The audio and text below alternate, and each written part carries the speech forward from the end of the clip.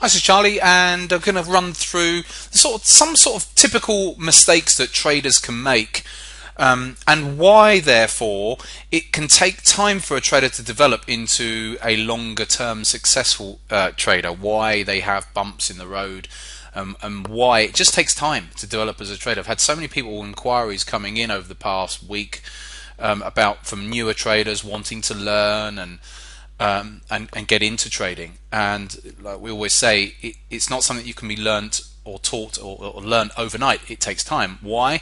Partly because psychologically it takes time to develop as a trader. Um, it's not something you can just pick up, learn a few strategies, and away you go. Um, obviously, you've got to start somewhere, and yes, you need strategies and, and to be taught how to trade, but there are certain trader traits um, and psychological um, facets of trading that can um, act as a limiting factor, shall we say. So let's go through one example. And one example could be, um, let's actually draw an equity curve on first of all. So let's draw, here's an equity curve, which is essentially obviously going sideways. So P&L of your equity.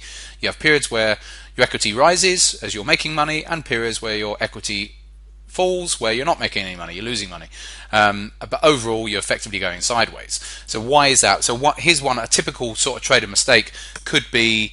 Um, something like uh, okay so you're in, you're trading in the afternoon let's say you've had um, a losing uh, you're on a losing day so far, but it's only a small losing day. Maybe you've had one losing trade, and then you get into the afternoon and you think, oh, do you know what? I'm going to take that next trade. So this one here, I'm going to take that next trade. Um, it's late afternoon, but I'm just going for it, and all of a sudden that one becomes a loser. Um, and you think, oh damn, why did I do that? Okay, but oh no, now this, my losing day is becoming a bigger losing day. I've got to make that back. So then all of a sudden it's now six o'clock in the evening, let's say, and you've been at it all day, and then you take another trade, and that one becomes a loser.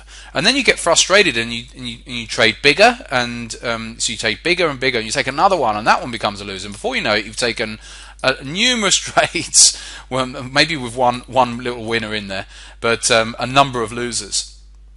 And all of a sudden, what's happened, if I draw the equity back on again, what you've just been doing over the last month, two months, has been going really well, and then it pulls all the way back um, very, very quickly, sometimes in the space of a day or two days, um, by making that mistake of just over trading, getting a bit overly aggressive, and um, or just trading just on a whim, thinking I've got to make this back, I've got to make this back, and all of a sudden that's what you've done, and then you feel the pain of that. You you know you kick yourself and then it takes some time and then gradually you start making some money again because you made that big mistake. And over a period of months it might be um, the, your equity is going back up again. Then you get overconfident again. You have maybe a small losing day or maybe it's a small winning day. And then you take that extra trade at the end of the day again and before you know it boom you've just taken five trades um, and you and your account balance has just pulled back again. This it's that sort of mistake because what happens psychologically is that um, we forget we forget very quickly um, our mistakes of the past. And we think it won't happen to us again. And so several months down the line we, we create we, we we create the same mistake again. We follow the same pattern again. If I'm just giving you one example here of a type of trader uh, trade. Not everybody is um, susceptible to this sort of trade but it could be something else. It could be that they they have they trade really well um, and then because they're doing well, they actually start to tighten up. So after a period of months, and actually as a result of tightening up, they just start getting scared because they want the they want the P and L to keep on going higher, but they're getting scared um, of, of of it not. And actually, what happens is it does in fact come down because they start tightening their stops too tight and then getting needlessly stopped out. And so there's all sorts of different things that can happen. And and yet whilst they're in this nice period, everything seems to flow and work well. So, um, but a trader needs to almost experience these mistakes at least twice in order to learn from them. And that's the sort of thing that that traders will go through um, making a mistake and then repeating that mistake over a period of time. Um, you won't do it again the following day or the day after necessarily.